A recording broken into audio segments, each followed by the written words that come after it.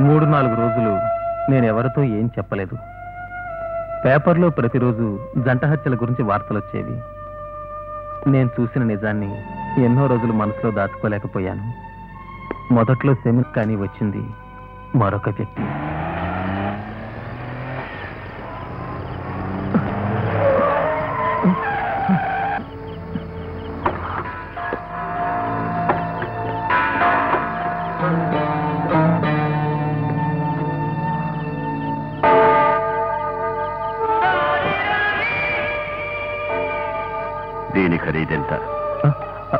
ఐదు రూపాయలు.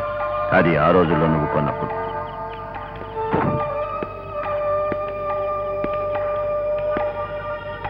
ఈ రోజు దీనికి ఐదు లక్షల రూపాయలు ధర కట్టాను కాదంటే కాస్త ఎక్కువే. నమ్మాషాన్ సాక్ష్యం చెప్తే కోర్టు నన్నేం శిక్షించదు. కానీ సాక్ష్యం చెప్తే నేను నమ్మాషాన్ని శిక్షిస్తాను. ఈ చెయ్యి రకరకాల రక్తాలను చూసి. కానీ ఫాదర్ రక్తం ఇందులో పడకు. నాకు ఆ నిర్బంధం ఉంది. పో. వెళ్ళిపో.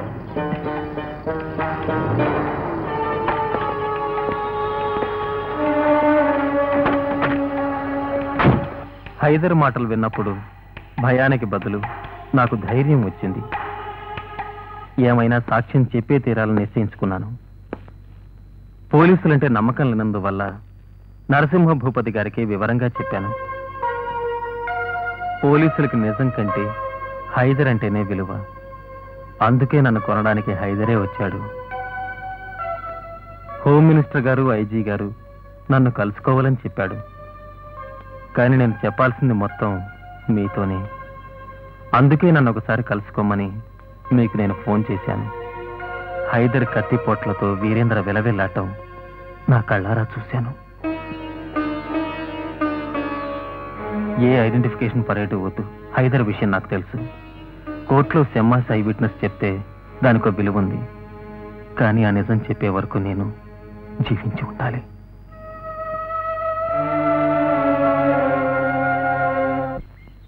హైదర్కి అరెస్ట్ వారెంట్ వచ్చింది. కానీ దానివల్ల ప్రయోజనం లేదు. హైదర్ దాక్కున్నాడు. ఇండియా మొత్తం హైదర్ కోసం పోలీసులు వల వేశారు. అతని గురించి ఆచూకీ ఇచ్చిన వారికి రెండు లక్షల రూపాయలు బహుమానం ప్రకటించారు. అయినా జాడ తెలియలేదు. చిట్ట చివరికి భూపతి గారు కావాల్సి వచ్చింది హైదర్ని పట్టేందుకు. హైదర్ ఉండే చోటు నీకు తెలుసు అనుకుంటాను? తెలుసు. కానీ హైదర్ అక్కడ ఉంటాడనే నమ్మకం నాకు లేదు. ఒకవేళ వాడు విదేశాలకు వెళ్ళాడేమో? వెళ్ళడు. పోలీసులకు భయపడి ఇండియా వదిలి వెళ్ళడా హైదర్?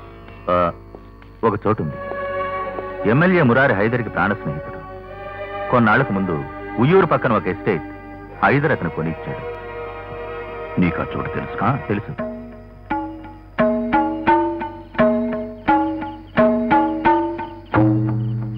నాదర్ అన్ని చోట్ల ఒక కన్నీసు ఉంచు. అన్న మాత్రం ఉంటాడు తెలుసా? మేరే తిరిగి వస్తాం బీ కేర్ఫుల్ జాగ్రత్త.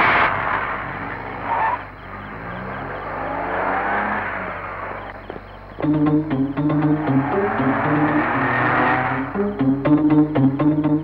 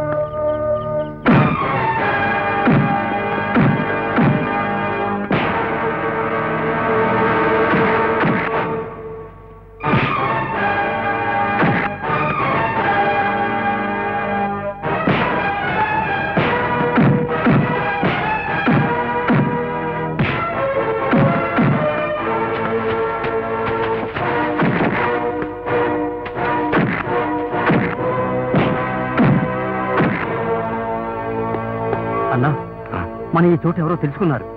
పోలీసులు వచ్చే ముందు అన్ని ఇక్కడి నుంచి వెళ్ళిపోవాలి. ఇక్కడ విషయాలు మేము చూసుకుంటాం.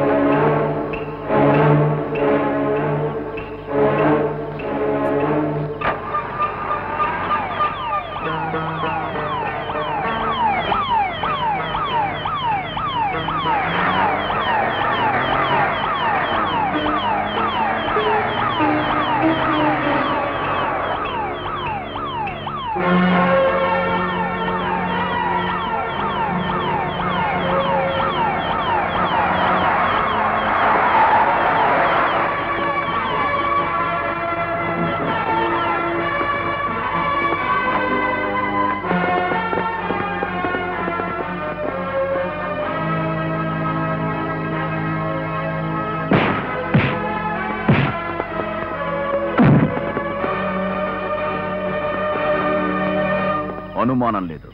హైదరే వీడు. ఇండియా మొత్తం మీరు వలవేసిన వీడు దొరకలేదు.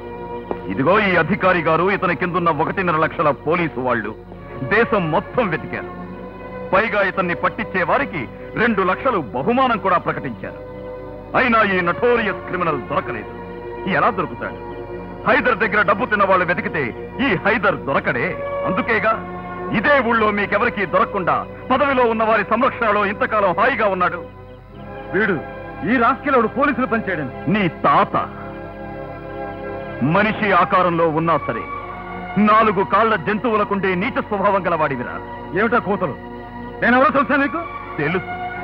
జనాల అమాయకులు గనక ఎమ్మెల్యేవి. పదిహేను సంవత్సరాల ముందు నా ముందు చేతులు కట్టుకున్న నా డ్రైవర్వి. అంతకు ముందు నా కుటుంబంలో వంటవాడికి అసిస్టెంట్గా ఉండేవాడివి. అంతకు ముందు అమ్మ కడుపున పుట్టి ఆ అమ్మకే తీరని ద్రోహం చేసిన ఒక బాస్టడువి అదేరా నీ చరిత్ర.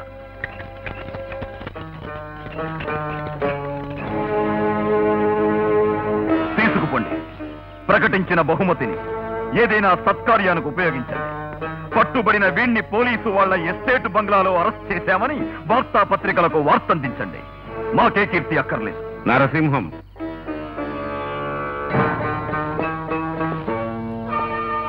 Narasimham. Half man half lion నాకు సరైన విరోధి. కానీ ఏం చేయగలం? ఢీకునే టైంలో ఒక సింహం లోనుంది. ఎప్పుడూ నేను లోపలే ఉంటానని నువ్వనుకో ఆయుష్ పెరగాలని దేవుణ్ణి ప్రార్థించు.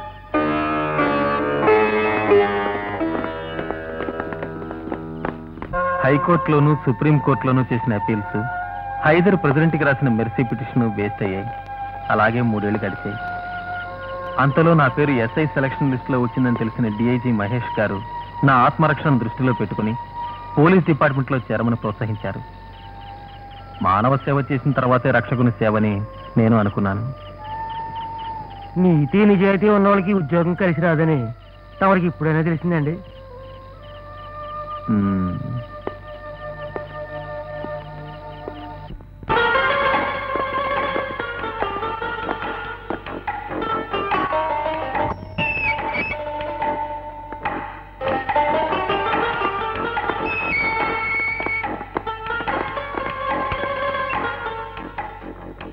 Just minute.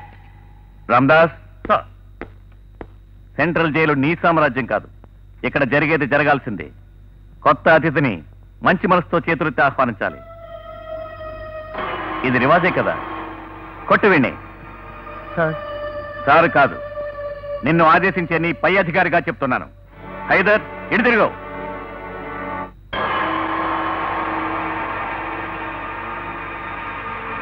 కొట్రా కొట్టు!